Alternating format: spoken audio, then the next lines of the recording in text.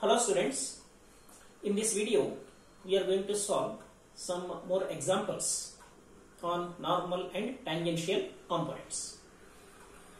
So I hope you are ready with a calculator, pen and notebook. Okay? Now this is example 3. A car starts from rest and moves on a curved path of radius 300 meters and accelerates at a constant tangential acceleration of 1.5 meter per second square. Determine the distance travelled and the time taken when the magnitude of total acceleration is 2 meter per second square. So first we will write the given data and what is to be found. So it is given while reading the statement you please note down the data. Car starts from rest. So initial velocity of the car is 0 and moves on a curved path of radius 300 meters. Radius of curvature of the path 300 meters and accelerates at a constant tangential acceleration at is 1.5 meter per second square. Remember it is constant.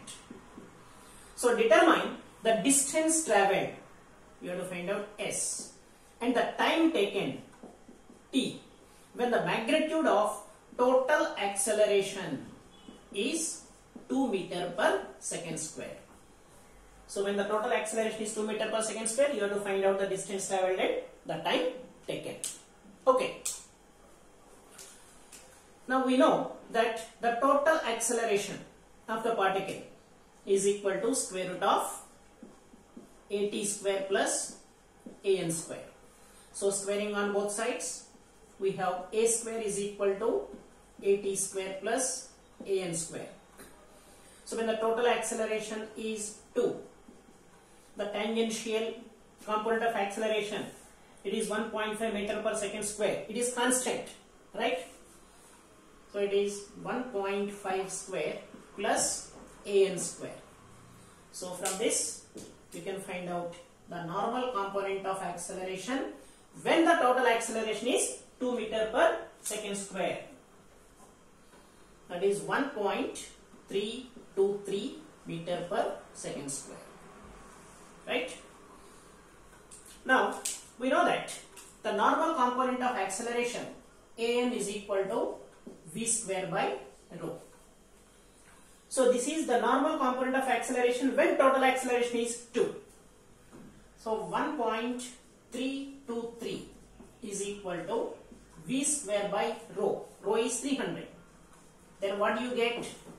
v. What is this v? This is the speed of the car when the total acceleration is 2 meter per second square. So solving this, you will get v is equal to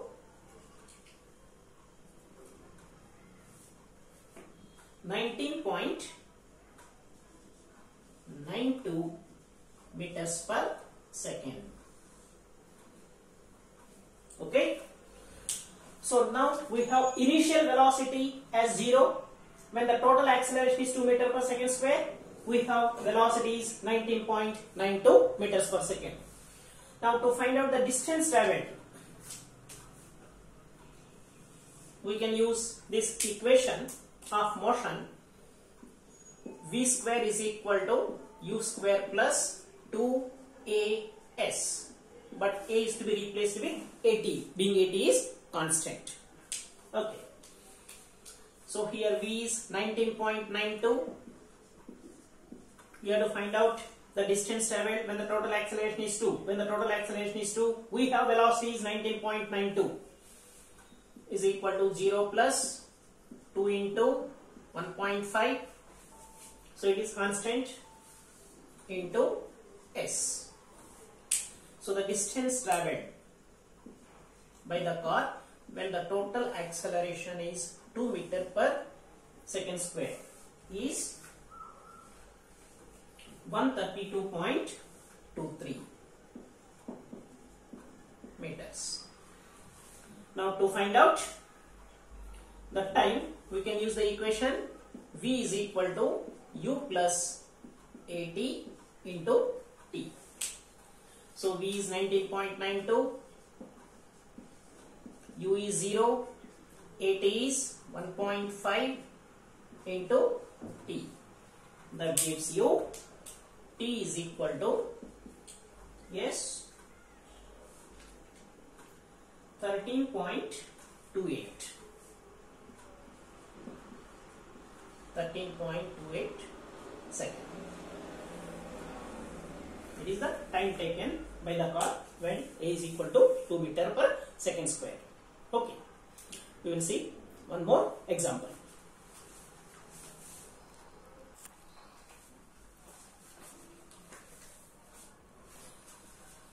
See this example number 4.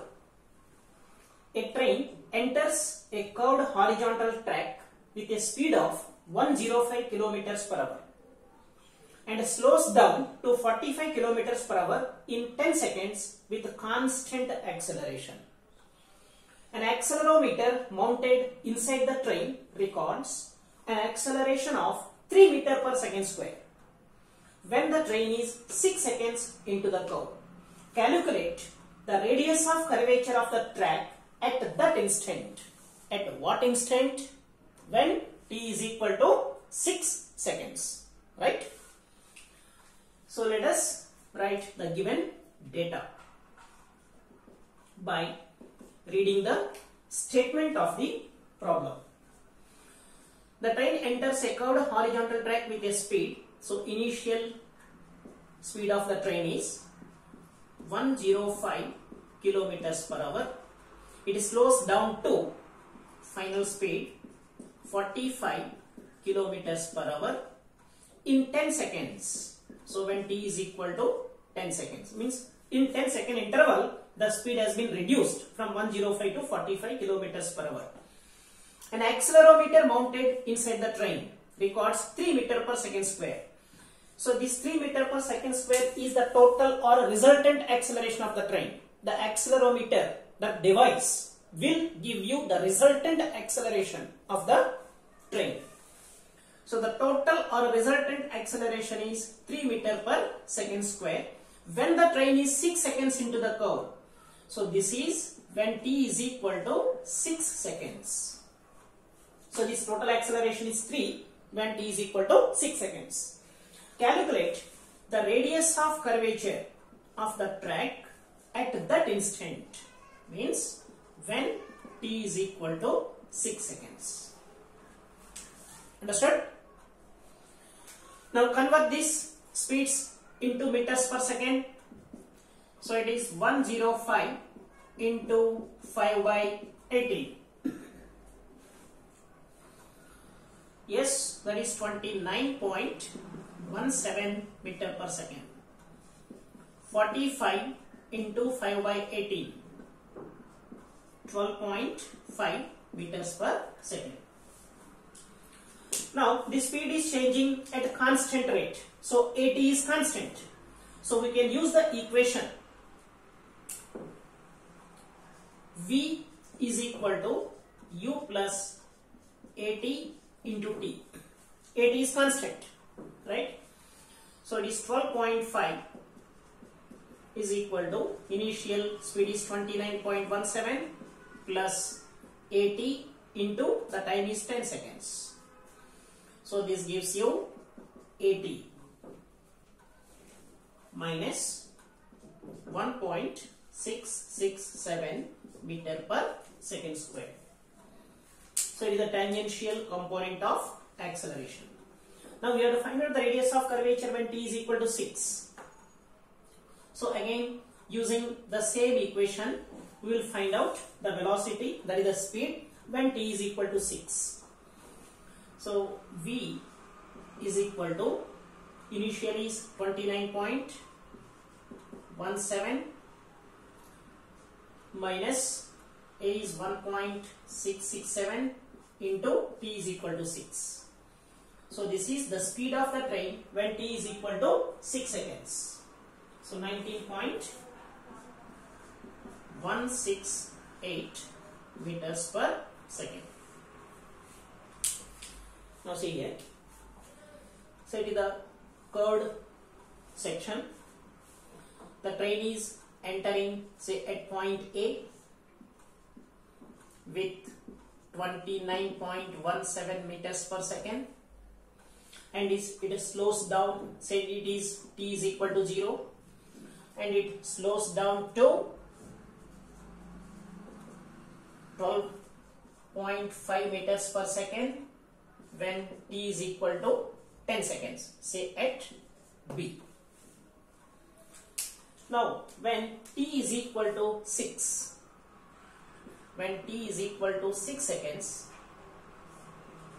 the speed of the train is we have calculated it as 19.168 meters per second. At this instant only the total acceleration is 3 meter per second square. Now you have to find out the radius of curvature of the path of the curve say at point C. Right? Now we know that the total acceleration is equal to square root of at square plus an square. Now this is we are doing it t is equal to 6 seconds.